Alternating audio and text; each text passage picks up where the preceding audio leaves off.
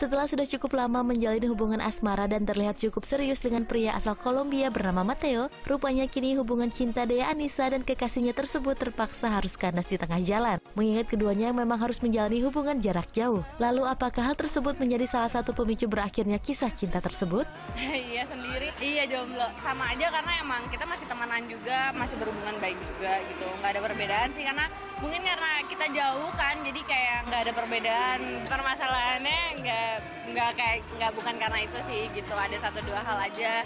Bukan karena long distance relationship juga, bukan karena ada orang lain juga. Cuman emang ini kayak mutual decision aja gitu yang harus yang harus dilakuin.